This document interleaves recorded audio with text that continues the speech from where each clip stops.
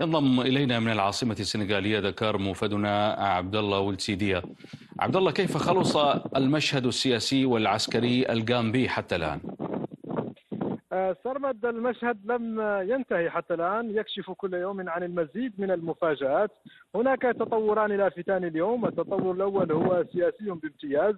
الرئيس الجديد أداما بارو وقع أول مرسوم تنفيذي بحل جهاز الاستخبارات الوطني.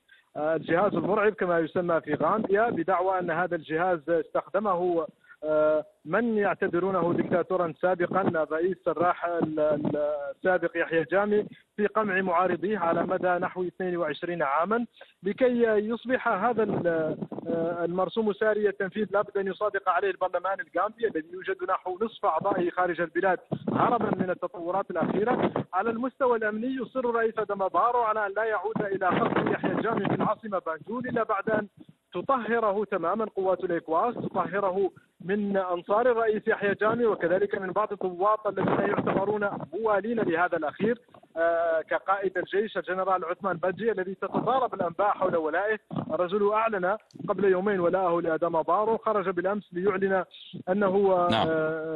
آه يمكن أن ينفذ أوامر الرئيس لكنه لن يرضى بنزع السلاح نعم. المشهد ما زال ضبابيا بامتياز م. الكل في انتظار قادم الأيام وعودة الرئيس المنتخب آدم بارو إلى بانجول والبداية نعم. والبدء في تشكيل حكومته سرمد من العاصمة السنغاليه دكار مفادنا عبد الله والسيديه شكرا لك